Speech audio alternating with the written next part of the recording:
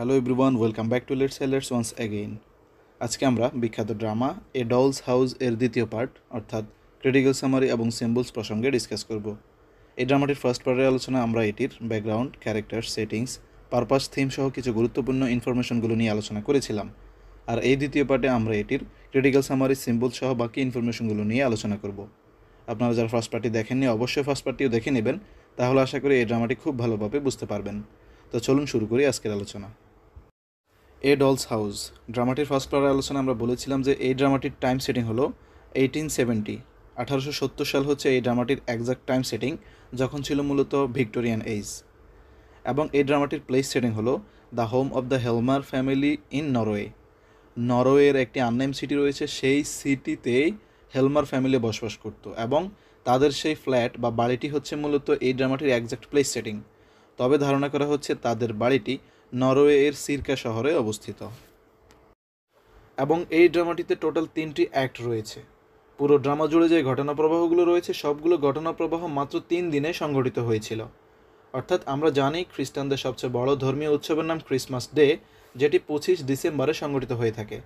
আর এই ড্রামাটির ঘটনাগুলো চব্বিশ, পঁচিশ এবং ছাব্বিশ ডিসেম্বরের এই তিন দিনেই সম্পূর্ণরূপে সংঘটিত হয়েছিল। যাই হোক ড্রামাটি সর্বপ্রথম শুরু হয় ক্রিসমাস ডে এর আগের দিন, অর্থাৎ চব্বিশ ডিসেম্বর। ড্রামাটির প্রোটাগনিস্ট নোরা হেলমার, তিনি ক্রিসমাস ইভ উপলক্ষে তাদের বাড়িকে সাজানোর জন্য এবং প্রতিবেশীদেরকে উপহার দেওয়ার জন্যে বাজার থেকে কিছু ফুল এবং উপহার সামগ্রী কিনে বাড়ির দিকে আসছিল। সে যখন বাড়িতে পৌঁছায়, তখন তার হাজব্যান্ড টরভেল হেলমার, তিনি তার পড়ার রুম থেকে বের হয়ে আসেন এবং তার ওয়াইফকে উষ্ণ অভিনন্দন জানান। যদিও তিনি অভিনন্দন জানান, তবে তার অভিনন্দনের ধরনটি ছিল মূলত তিরস্কারমূলক। কারণ তিনি সবসময় বলেন যে তার ওয়াইফ নোরা হেলমার সবসময় একটু বেশিই খরচ করে ফেলে। ঠিক সেই রকম ব্লেম এখনও দিচ্ছে যে, নোরা, তোমার কোনো প্রয়োজন ছিল না এতগুলো উপহার নিয়ে এতগুলো টাকা লস করার। তুমি আসলে বেশি টাকা খরচ করো। এভাবে যখন তাদের কথা বাড়াবাড়ি হচ্ছিল, তখন তাদের বাড়ির যে সার্ভেন্ট রয়েছে, যার নাম হচ্ছে হেলেন সে আসে এবং সে জানায় যে আপনাদের ফ্যামিলি ফ্রেন্ড ডক্টর র্যাঙ্ক তিনি বাসায় এসেছেন এবং তার সাথে অন্য আরেকটি ব্যক্তি এসেছে যাকে চিনতে পারিনি।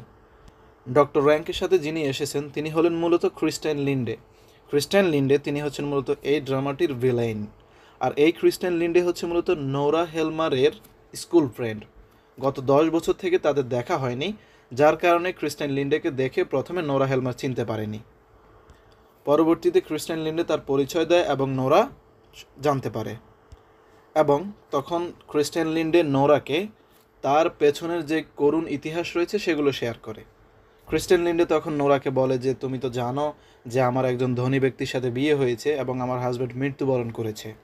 তখন নোরা বলে হ্যাঁ আমি পত্রিকাতে দেখেছি তোমার হাজব্যান্ড মৃত্যুবরণ করেছে, কিন্তু ব্যস্ততার কারণে আমি তোমাকে সমবেদনাসূচক চিঠি পাঠাতেও পারিনি। এবং তাদের কথাবার্তায় নোরা হেলমার তার নিজের কিছু ইতিহাস খ্রিস্টান লিন্ডের কাছে তুলে ধরে। সে বলে, তার সাথে তার হাজব্যান্ড থরবেল হেলমারের বিয়ে হয়েছিল আট বছর পূর্বে। বিয়ের পরবর্তীতে তাদের অনেক ফাইন্যান্সিয়াল ক্রাইসিস ছিল। বর্তমানে যদিও সেটি অনেকটা লাঘব হয়েছে। বর্তমানে তাদের তিনটি সন্তান রয়েছে। এবং সে এটাও বলে, তার হাজব্যান্ডের পূর্বে একটি নর্মাল জব ছিল। বর্তমানে সে একজন ব্যাংক কর্মকর্তা হিসেবে যোগদান দিচ্ছে। কথাবার্তার এক পর্যায়ে নোরা এটাও বলে যে, তার হাজব্যান্ড থরবেল হেলমার একদা অসুস্থ হয়েছিল। অসুস্থ হয়ে যাওয়ার পর তৎকালীন নরওয়ের ডাক্তাররা প্রেসক্রাইব করেছিল যে তাকে জলবায়ু পরিবর্তনে যেতে হবে। তখন নোরা তার হাজব্যান্ড টরভেল হেলমারকে নরওয়ে থেকে ইতালিতে নিয়ে গিয়েছিল চিকিৎসার জন্যে। সেখানে অনেক টাকা খরচ হয়েছে এবং সেই টাকা না থাকার কারণে নোরা হেলমার ব্যাংক থেকে কড়া সুদে লোন নিয়েছিল তার হাজব্যান্ডকে চিকিৎসা করানোর জন্যে। যে ব্যাপারটি সে তার হাজব্যান্ডের কাছে বলেনি, সে বলেছে যে এই টাকাটি সে তার বাবার কাছ থেকে এনেছে। মূলত, এই টাকাটি সে তার বাবার কাছ থেকে আনেনি, বরং সে ব্যাংক থেকে লোন নিয়েছে যেটি তার হাজব্যান্ড জানে না। এবং বর্তমানেও সে তার হাজব্যান্ডকে না জানিয়ে প্রতি মাসে সেই লোনের টাকা পরিশোধ করে যাচ্ছে। তখন নোরা ক্রিস্টিয়ান লিন্ডেকে বলে, তুমিও তোমার কোনো ঘটনা থাকলে শেয়ার করতে পারো। তখন ক্রিস্টিয়ান লিন্ডে বলে যে, তুমি তো জানো যে স্কুল জীবনে আমার একটি ছেলের সাথে সম্পর্ক ছিল এবং তখনই আমার পিতা মৃত্যুবরণ করেছে। আমার ফ্যামিলি ব্যাকআপের জন্যে আমি ওই ছেলের সাথে বিয়ে না করে একজন ধনী ব্যক্তির সাথে আমার বিয়ে হয়েছে। পরবর্তীতে আমার হাজব্যান্ড মৃত্যুবরণ করেছে। মৃত্যুবরণ করার পর আমি আবার আমার বাবার বাড়িতে চলে এসেছি। সেখানে আমার নিজের বাবার মৃত্যুর কারণে আমার ভাই বোনদের দেখাশোনার জন্যে আমি নিজে আর বিয়ে করিনি, অনেক কষ্ট করেছি জব করেছি। বর্তমানে আমার ভাইয়েরা, বোনেরা অনেক বড় হয়ে গিয়েছে এবং তাদের আমাকে আর কোনো প্রয়োজন নেই এবং আমার কোনো জব নেই। আমি বর্তমানে খুবই নিঃস্ব এবং নিঃস্ব হয়েই তোমার কাছে এসেছি। তুমি তোমার হাজব্যান্ডের মাধ্যমে যদি আমার জন্য কোনো সুরাহা করতে পারো। তখন নোরা হেলমা তাকে বলে, সমস্যা নাই, আমি আমার হাজব্যান্ডের সাথে কথা বলে যদি পারি তোমাকে একটি ভালো জবের ব্যবস্থা করে দেব। এবং তাদের কথাবার্তার এক পর্যায়ে নেইলস ক্রকস্টার নামক এক ব্যক্তি তাদের বাড়িতে আসে। সে এসে যখন জানতে পারে যে টরভেল্ট হেলমার তার রুমে অবস্থান করছে, তখন নীলস ক্রগস্টাড সরাসরি টরভেল্টের রুমে চলে যায়। নীলস ক্রগস্টাড এবং টরভেল্ট হেলমারের আলোচনা থেকে এটা জানা যায় যে ক্রগস্টাড তার চাকরি জীবনে জালিয়াতি করেছিল। এবং সেই জালিয়াতির কারণে তার বস টরভেল্ট হেলমার তাকে চাকরি থেকে চাকরিচ্যুত করবে। অর্থাৎ এই ক্রগস্টাড এবং টরভেল্ট হেলমার তারা একই অফিসে জব করে। টরভেল্ট হেলমার হচ্ছে নীল ক্রগস্টারের বস, যার কারণে ক্রগস্টেড জালিয়াতি করার কারণে টরভেল্ট হেলমার তার চাকরি থেকে তাকে চাকরিচ্যুত করতে যাচ্ছে। এই ব্যাপার নিয়ে তাদের আলোচনা হচ্ছিল এবং কথাবার্তা শেষে নেইলস ক্রগস্টার সেখান থেকে প্রস্থান করে। প্রস্থান করার পর নোরা হেলমার তার হাজব্যান্ডের কাছে যায় এবং তার হাজব্যান্ডকে বলে যে তার বান্ধবী ক্রিস্টান লিন্ডে এসেছিল, সে বর্তমানে খুবই অসহায়, যদি তাকে একটি জবের ব্যবস্থা করে দেওয়া যেত। তখন টরভেল্ট হেলমার নোরাকে আশ্বস্ত করে যে তার অফিসে জালিয়াতির কারণে নীল ক্রগস্টাডকে চাকরি থেকে চাকরিচ্যুত করবে এবং সেই পোস্টে সে ক্রিস্টান লিন্ডেকে চাকরি দিবে, এমনটা সে আশ্বস্ত করে। এরপর তারা সবাই নোরাকে রেখে তাদের সকলের নিজেদের কাজের উদ্দেশ্যে এখান থেকে প্রস্থান করে। পরবর্তীতে নোরা হেলমার, তাদের বাড়ির ফ্যামিলি ডক্টর অ্যানিম্যারি এবং তাদের তিন সন্তান একসাথে অবস্থান করে এবং কথাবার্তা শুরু করে। ঠিক এমত অবস্থাতেই নীলস ক্রগস্ট্যাডের আগমন ঘটে। নীলস ক্রগস্ট্যাড এসে নোরা হেলমারকে বলছে যে, নোরা, তোমার হাজব্যান্ড থরভেল্ড হেলমার, যিনি হচ্ছে আমার অফিসের বস, আমার সামান্য একটি জালিয়াতির কারণে তোমার হাজব্যান্ড আমাকে চাকরিচ্যুত করতে যাচ্ছেন। তুমি তোমার হাজব্যান্ডকে একটু বুঝাও যেন আমাকে চাকরিচ্যুত না করে চাকরিতে বহাল রাখে। এবং আমি এটাও আশ্বাস দিচ্ছি, যদি আমাকে চাকরিচ্যুত না করে, তাহলে পরবর্তীতে আমি আর কখনও জালিয়াতি করব না। এভাবে রিকোয়েস্ট করার পরে সে আবার থ্রেড দিয়ে বলে, যেভাবেই হোক তুমি তোমার হাজব্যান্ডকে বুঝাবে যেন আমাকে চাকরিচ্যুত না করে। যদি আমাকে চাকরিচ্যুত করে থাকে, তাহলে তোমার সমস্যা হবে। আর সেটা হচ্ছে কি, তুমি যে আমার কাছ থেকে লোনটি নিয়েছিলে, অর্থাৎ আমার মাধ্যমে ব্যাংক থেকে তুমি যে লোনটি নিয়েছিলে, সেখানে তুমি তোমার বাবার যে স্বাক্ষরটি দিয়েছিলে নমিনি হিসেবে, সেটি হচ্ছে একটি জাল স্বাক্ষর। আর সেটা হচ্ছে কেন? তোমার বাবার মৃত্যুর পরবর্তীতে তুমি এই স্বাক্ষরটি দিয়েছিলে। আর এই ব্যাপারটি যদি আমি পুলিশকে জানিয়ে দেই, তাহলে অবশ্যই তোমার জেল হবে, জরিমানা হবে। সুতরাং এই বিপদ থেকে বাঁচতে হলে তোমাকে অবশ্যই আমার এই চাকরিটি টিকিয়ে রাখতে হবে। আর হ্যাঁ আরেকটি বিষয় জেনে রাখবেন। সেটা হচ্ছে আমরা যে বলেছিলাম যে নোরা হেলমার, তার হাজব্যান্ড টরবেল্ট হেলমারের চিকিৎসার জন্য ব্যাংক থেকে লোন নিয়েছিল কড়া সুদে। সে মূলত এই নীলস ক্রগস্টাডের মাধ্যমেই ব্যাংক থেকে লোনটি নিয়েছিল। যাই হোক এই বিপদে পড়ে তখন নোরা হেলমার নীলস ক্রগস্টাডকে বলছে যে, ঠিক আছে, আমি চেষ্টা করব তোমার চাকরিটি যেন টিকিয়ে রাখতে পারি। এরপর সেখান থেকে নীলস ক্রগস্টাড প্রস্থান করে এবং এর পরবর্তীতেই নোরার হাজব্যান্ড টরবেল্ট হেলমার বাড়িতে আসে। আসার পর সে তার হাজব্যান্ডকে বলছে যে, নীলস ক্রগস্টাডকে তার এই জালিয়াতির কারণে চাকরিচ্যুত না করে আরেকবার সুযোগ দেয়া হোক। সাথে সাথেই টরবেল্ট হেলমার এই রিকোয়েস্টটি ডিনাই করে দেয়। সে বলে যে, না, কোনোভাবেই সম্ভব না। এই নীলস ক্রগস্টাড আগেও জালিয়াতি করেছে। আমরা সেটা জেনেছিলাম, বর্তমানেও যেহেতু সে জালিয়াতি করেছে, সুতরাং তাকে আর কোনোভাবেই এই চাকরিতে বহাল রাখা যাবে না। খুব শীঘ্রই আমি তাকে চাকরিচ্যুত করব। আর এভাবেই এই ড্রামাটির ফার্স্ট অ্যাক্ট শেষ হয়। ড্রামাটির দ্বিতীয় অ্যাক্ট শুরু হয় এর পর দিন, যেদিন ছিল ক্রিসমাস ডে, অর্থাৎ পঁচিশ ডিসেম্বর। সেদিন খ্রিস্টান লিন্ডে নোরার কাছে আসলো, তার পোশাকটি সেলাই করে নিতে। এসে সে দেখল নোরা হেলমান মন খারাপ করে বসে আছে। পরবর্তীতে তাদের দুই বান্ধবী কথোপকথন শুরু করল এবং তাদের কথোপকথন থেকে এটা বোঝা যায় যে নোরাদের যে ফ্যামিলি ফ্রেন্ড রয়েছে ডক্টর র্যাঙ্ক, তিনি খুবই ভালো মানুষ, তিনি অনেক বেশি মদ্যপান করতেন এবং তিনি হয়তো জেনেটিকভাবে একটি রোগ পেয়েছেন, অর্থাৎ হতে পারে তার পিতামাতারও এমন রোগ ছিল। আর সেই রোগটি হচ্ছে টিউবারকোলোসিস এই টিউবারকোলোসিসেই মূলত ডক্টর র্যাঙ্ক আক্রান্ত, যার কারণে তিনি দিন দিন দুর্বল হয়ে যাচ্ছেন এবং মৃত্যুর কাছাকাছি চলে যাচ্ছেন। তাদের কথোপকথন চলাকালে এমত অবস্থায় নোরার হাজব্যান্ড টরবেল্ট হেলমার এসে উপস্থিত হয়। পরবর্তীতে নোরা তার হাজব্যান্ড টরবেলকে দ্বিতীয়বারের মতো রিকোয়েস্ট করার চেষ্টা করছে যে যেন নীলস ক্রগস্টাডকে এই চাকরি থেকে চাকরিচ্যুত না করে আরেকবার যেন সুযোগ দেওয়া হয়। এই রিকোয়েস্টটি করার পর সাথে সাথেই টরবেল্ট হেলমার অনেক বেশি রেগে মেগে যায় এবং সে বলে যে, আজকেই আমি নীলস ক্রগস্ট্যাটকে চাকরি থেকে বরখাস্ত করার জন্য রিজাইন লেটার পাঠিয়ে দিব। এবং সাথে সাথে সে তাদের বাড়ির যে মেড সার্ভেন্ট রয়েছে হ্যালেন তার মাধ্যমে নিলস ক্রগস্টাডের কাছে রিজাইন লেটারটি পাঠিয়ে দেয়। এরপর সেখান থেকে টরভেল্ট হেলমার প্রস্থান করে এবং এর পরবর্তীতে সেখানে ডক্টর র্যাঙ্ক এসে উপস্থিত হয়। ডক্টর র্যাঙ্ক এসে সে নোরাকে প্রপোজাল দিয়ে বসে। সে নোরাকে বলে যে, নোরা, আমি তোমাকে ভালোবাসি এবং তুমি সেটা নিজেও জানো যে আমি তোমাকে অনেক বেশি ভালোবাসি। আর তুমি এটাও জানো যে আমি টিউবারকুলোসিসে আক্রান্ত, আমি অনেক অসুস্থ হয়ে গিয়েছি, আমি মৃত্যুর খুব সন্নিকটে চলে গেছি।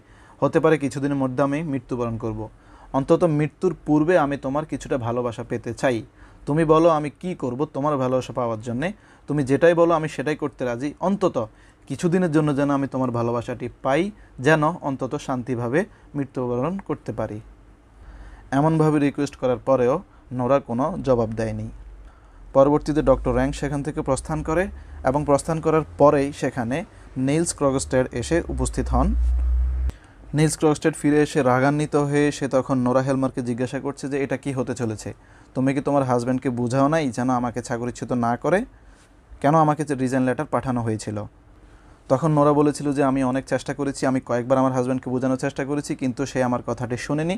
সে তোমাকে রিজাইন লেটার পাঠিয়ে দিয়েছে, আমার কিছু করার ছিল না। তখনই নীলস ক্রগস্টেড অনেক বেশি রাগান্বিত হয় এবং সে থ্রেড দিতে থাকে।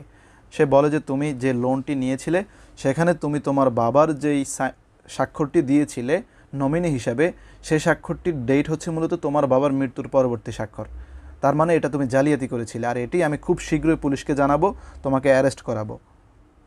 এবং তুমি যে লোনটি আমার কাছ থেকে নিয়েছিলে, তুমি সেটি তোমার হাজব্যান্ডকে বলনি, এই ব্যাপারটিও আমি তোমার হাজব্যান্ডের কাছে খুব শীঘ্রই জানিয়ে দিচ্ছি।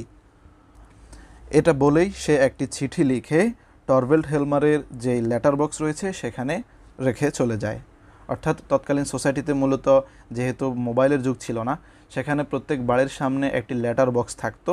মানুষগুলো যে কোনো লেটার কারও কাছে পাঠালে তারা গিয়ে ওই বাড়ির সামনে বক্সে রাখতো। পরে বাড়ির লোকজন সেই লেটার বক্স থেকে লেটারটি নিয়ে দেখতো। ঠিক সেমভাবে নিলস ক্রগস্টেড তখন থরবেল্ট হেলমারের যে লেটার বক্স রয়েছে, সেখানে বিস্তারিত ঘটনা লিখে একটি লেটার রেখে চলে যায়। এমত অবস্থায় নোরা হেলমার বেশ চিন্তিত হয়ে পড়ে। তখন নোরার বান্ধবী মিসেস লিন্ডে নোরাকে আশ্বাস প্রদান করছে যে, নোরা তুমি কোনো চিন্তা করো না, দেখি আমি তোমার জন্য কি করতে পারি। আমি খুব শীঘ্রই নিলস ক্রকস্টারের সাথে দেখা করব এবং তাকে গিয়ে রিকোয়েস্ট করব যেন সে পুলিশের কাছে গিয়ে তোমার নামে কোনো অভিযোগ না দেয়। ততক্ষণ পর্যন্ত তুমি এই লেটার থেকে তোমার হাজব্যান্ডকে বিরত রাখবে। অর্থাৎ তোমার হাজব্যান্ড যেন এই লেটারটি পড়ার সুযোগ না পায়, তুমি সে ব্যাপারটি কন্ট্রোলে রাখবে। এভাবেই ড্রামাটির সেকেন্ড অ্যাক্ট শেষ হয়। ড্রামাটির থার্ড অ্যাক্ট শুরু হয়। পরবর্তীতে মিসেস লিন্ডে সেখান থেকে প্রস্থান করে এবং সে নীলস ক্রকস্টারের সাথে দেখা করতে যায়। গিয়ে সে সেদিন নীলস ক্রকস্টারকে খুঁজে পায়নি। পরবর্তীতে পরদিন, অর্থাৎ ছাব্বিশ ডিসেম্বর, সে গিয়ে নীলস ক্রকস্টারের সাথে পুনরায় দেখা করে। দেখা করে সে নীলস ক্রকস্টারকে বলছে যে, নীলস ক্রকস্টার, তুমি তো আমাকে খুব ভালোভাবেই চিনো, কারণ স্কুল জীবনে তোমার সাথে আমার প্রেমের সম্পর্ক ছিল, আমরা একে অপরকে ভালোবাসতাম, আমি তোমাকে বিয়েও করতাম। কিন্তু ভাগ্যের কি নির্মম পরিহাস, আমি তোমাকে বিয়ে করতে পারিনি। কারণ হচ্ছে তখন আমার পিতা মৃত্যুবরণ করেছে, আমার ফ্যামিলি টেকিং কেয়ারের জন্য আমি একজন ধনী ব্যক্তির সাথে বিয়ে করেছিলাম। পরবর্তীতে আমার হাজব্যান্ড মৃত্যুবরণ করেছে এবং তিনি আমার জন্য কোনো সন্তানও রেখে যাননি। বর্তমানে আমি খুব কষ্টে রয়েছি এবং আমি এটাও জেনেছি, তুমি নাকি বিয়ে করেছিলে এবং তোমার ওয়াইফও নাকি মৃত্যুবরণ করেছে। অর্থাৎ বর্তমানে আমি একজন বিধবা এবং তুমি একজন বিপত্নিক। আমি চাচ্ছি তুমি যদি রাজি থাকো, আমি তোমাকে পুনরায় বর্তমানে বিয়ে করব এবং বাকি জীবন আমরা একে অপরে ভালোবেসে টেকিং কেয়ারের মাধ্যমে বাকি জীবন কাটাবো। এটি শুনে নীলস ক্রগস্টেড খুব বেশি খুশি হয়ে যায়। সে বলে, আরে, আমি তো তোমাকে আগেও খুব ভালোবাসতাম, বর্তমানে আমি তোমাকে খুব ভালোবাসি। নিশ্চয় আমি তোমাকে বিয়ে করতে রাজি আছি। এবং তারা উভয়ে বিয়ে করতে সম্মত হয়। পরবর্তীতে নীলস ক্রগস্টেড মিসেস লিন্ডেকে বলছে যে, আমি যে লেটারটি থরভেল্ট হেলমারের লেটার বক্সে রেখে এসেছিলাম, আমি যাই সেই লেটারটি নিয়ে আসি। কারণ এই লেটারটি যদি থরভেল্ট হেলমার দেখে, তাহলে তাদের হাজব্যান্ড ওয়াইফের মাঝে মনোমালিন্য হবে জগলাজাটি হবে। আমি সেটি নিয়ে আসি। তখন মিসেস লিন্ডে তাকে বলল যে, না থাক, আনার দরকার নাই। এই ব্যাপারটি টরভেল হেলমার দেখুক, জানুক এবং তাদের ব্যাপারে তখন ক্লিয়ার হয়ে যাক একে অপরের ব্যাপারে। পরবর্তীতে নিলস ক্রোগস্টেড আর ওই লেটারটি আনার জন্য যায়নি। এবং একটি বিষয় বলে রাখি, সেটা হচ্ছে ড্রামাটির ফার্স্ট পার্টে আলোচনায় আমরা বলেছিলাম যে ক্রিস্টাইন লিন্ডে সে এই ড্রামাটিতে বিভিন্ন জায়গায় বিভিন্ন ধরনের চালাকি করবে। ঠিক সেই রকম একটা চালাকি আমরা এখানেও দেখতে পাই, সেটা হচ্ছে লিন্ডে চাইলে নিলস ক্রগস্টার্টকে বলতে পারতো যে, যাও, সে লেটারটি নিয়ে আসো। কিন্তু সে এটা না করে সে তাকে মানা করেছে যে না, লেটারটি এনো না। কিন্তু পরবর্তীতে আমরা দেখেছি যে ওই লেটারটি পাওয়ার পর টরভেল্ট হেলমার এবং তার ওয়াইফের সাথে মনোমালিন্য শুরু হয়ে গিয়েছিল। যাই হোক, পরবর্তীতে টরভেল্ট হেলমার তার লেটারটি পেল। লেটারটি পেয়ে সে মারাত্মকভাবে রেগে গেল। সে অনেক রাগান্বিত হয়ে রেগে মেগে সে তার স্ত্রী নোরা হেলমারকে বিভিন্ন ধরনের বকাবাদ্য শুরু করল, অপবাদ দিতে লাগল। সে নোরা হেলমারকে বলছে, তুমি একজন চিটার তুমি কেন, কীভাবে এত বড় চিটিং করতে পারলে? তুমি আমাকে বলেছিলে যে ওই টাকাটি তুমি তোমার পিতার কাছ থেকে এনেছো, কিন্তু তুমি তোমার পিতার কাছ থেকে আনোনি, বরং তুমি ব্যাংক থেকে লোন নিয়েছো। যে ব্যাপারটি তুমি আমার কাছে হাইড রেখেছিলে, এত বড় চিটিং কাজ তুমি কীভাবে করতে পারলে? এটা বলে সে রাগান্বিত হয়ে এটাও বলছে যে, আমি তোমাকে অর্ডার করছি, তুমি আমার সন্তানদেরকে আর লালন পালন করবে না টেকিং কেয়ার করবে না। কারণ তুমি যদি আমার সন্তানদেরকে আর লালন পালন করো টেকিং কেয়ার করো, তাহলে পরবর্তীতে আমার সন্তানরা বড় হয়ে তোমার মতোই চিটার হবে। সুতরাং তুমি আমার সন্তানদেরকে টাচ করতে পারবে না। এসব অপবাদ শুনে নোরা হেলমার অনেক বেশি কষ্ট পায়। সে বলে যে, আমি যে টাকাটি লোন নিয়েছিলাম, আমি মূলত তোমার জন্য নিয়েছিলাম। তোমার চিকিৎসার জন্য নিয়েছিলাম। পক্ষান্তরে তুমি আমাকে এভাবে অপবাদ দিচ্ছ, এভাবেই বকাবদ্ধ করছ? এটা বলে সে কান্নাকাটি শুরু করল। মূলত এই ঘটনাটির মাধ্যমে ড্রামাটিক হ্যানরিক ইবসেন তৎকালীন মেল ডোমিনেটেড সোসাইটিরে পুরুষরা নারীদেরকে কীভাবে টর্চার করতো, সেরকম একটি চিত্র তুলে ধরার চেষ্টা করেছেন। যাই হোক, পরবর্তীতে তাদের বাড়ির যেই মেড সার্ভেন্ট রয়েছে হ্যালেন, সে অন্য একটি চিঠি নিয়ে আসলো, যেটি ক্রগস্টার পাঠিয়েছে। ওই চিঠিতে, চিঠির সাথে নোরা হেলমার এর বাবার যেই স্বাক্ষরটি ছিল, অর্থাৎ সে নমিনি হিসেবে যে স্বাক্ষরটি দিয়েছিল, ওই স্বাক্ষরের পেপারটি নিয়ে আসে। আসার পর যখন টরবেল হেলমার সেটা দেখে দেখে সে তখন ভুল বুঝতে পারে। সে তখন বুঝতে পারে যে, না, এই টাকাটি তো নোরা একা নেয়নি। সে মূলত তার বাবাকে নমিনি করে সে এই টাকাটি নিয়েছিল। এটা দেখে টরবেল হেলমার ভুল বুঝতে পারে এবং সে নোরার কাছে গিয়ে নোরাকে সরি বলে। সে বলে যে, আমি অ্যাপোলজি ফিল করছি। আমি যে তোমাকে এত বেশি বকাবাদ্য করেছি, আসলে আমার ঠিক হয়নি। কারণ তুমি যে টাকাটি নিয়েছিলে, সেখানে তুমি তোমার বাবাকেই তো মূলত নমিনি দিয়েছ। এটা বলে সে তার ওয়াইফ নোরা হেলমারকে বলছে যে, আমি তোমার কাছে সরি বলছি। তোমাকে এতক্ষণ আমি যে বকাবাদ্য করেছি, আমি সেগুলো ফিরিয়ে নিতে চাই। আমি আর কখনো না জেনে তোমাকে বকাবাদ্য করব না। কিন্তু এতক্ষণে নোরা হেলমার বলল যে, না, এটা খুব দেরি হয়ে গিয়েছে। আমি এখন বুঝতে পেরেছি যে আমি সব জায়গায় একজন পুতুলের মতো ছিলাম। বিয়ের পূর্বে আমার পিতা আমাকে একজন ডলের মতো ব্যবহার করত। আমার পিতা যেরকমভাবে চাইতো, আমি সেভাবেই কাজ করতাম। আমি আমার নিজের স্বাধীনভাবে চলতে পারিনি। বিয়ের পরবর্তীতে তুমি আমার হাজব্যান্ড তুমি আমাকে যেভাবে ডমিনেটেড করছিলে, আমি কখনো নিজের স্বাধীনভাবে চলতে পারিনি। আমি স্বাধীনভাবে চলতে চাই। আমি এই দিন দুনিয়া দেখতে চাই। আমি এই আধুনিক সমাজে নিজেকে খাপ খাইয়ে চলতে চাই। আমি তোমাকে ক্ষমা করব না এবং হ্যাঁ আমি এই বাড়ি থেকে এখনই বের হয়ে যাচ্ছি। পরবর্তীতে সাথে সাথেই নোরা সে বাড়িটি ত্যাগ করে চলে যায়। কারণ সে মনে করে বিয়ের পূর্বে সে তার বাবার কাছে পুতুল ছিল, বিয়ের পরবর্তীতে সে তার স্বামীর কাছে পুতুলের মতোই রয়েছে। সে বাহিরের দুনিয়া সম্পর্কে কিছুই জানতে পারেনি তাদের কারণে। বর্তমানে সে স্বাধীনভাবে চলতে চায়, এই বাহিরের দুনিয়া সম্পর্কে সে জানতে চায়। এই উদ্দেশ্যেই সে মূলত তখন তার হাজব্যান্ডকে ছেড়ে ওই বাড়ি ত্যাগ করে চলে আসে। এভাবেই মূলত ড্রামাটি শেষ হয়। আর হ্যাঁ আমরা কিন্তু বলেছিলাম যে এই ড্রামাটি হচ্ছে একটি ফ্যামিনিস্ট ড্রামা। যেটির একটি উদাহরণ আমরা এই ঘটনা থেকেও জানতে পারি। পরবর্তীতে অবশ্য নোরার কী হয়েছে সেটা জানা যায়নি। আর হ্যাঁ এটি হচ্ছে মূলত এই ড্রামাটি সম্পর্কে আমাদের বিস্তারিত আলোচনা। ড্রামাটির বিস্তারিত আলোচনা যদি আপনাদের ভালো লেগে থাকে, অবশ্যই লাইক করবেন। কোনো ধরনের মন্তব্য থাকলে এবং পরবর্তীতে কোন টপিকটি দিব সেটি অবশ্যই কমেন্ট করে জানাতে পারেন এবং ভিডিওটি ভালো লাগলে আপনাদের বন্ধুদের সাথে শেয়ার করতে পারেন। ধন্যবাদ।